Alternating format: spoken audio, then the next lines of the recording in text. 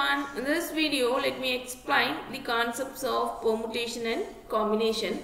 Actually, these techniques is introduced for counting ordered and unordered selections of distinct objects. If it is ordered selection, then we go with permutation. If it is unordered selection, we go with combinations. So let me start with permutation. So permutation means it is an ordered arrangement or selection okay, of R objects from a set of n objects. Generally it is denoted by n of PR or nPR.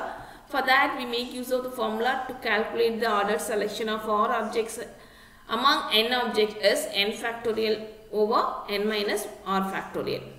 So in simple way we have to say that this is a problem of counting the number of ways of arranging r objects from a set of n objects when repetition is not allowed and order matters.